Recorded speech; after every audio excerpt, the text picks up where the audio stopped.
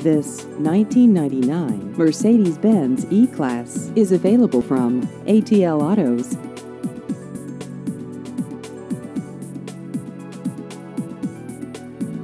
This vehicle has just over 150,000 miles.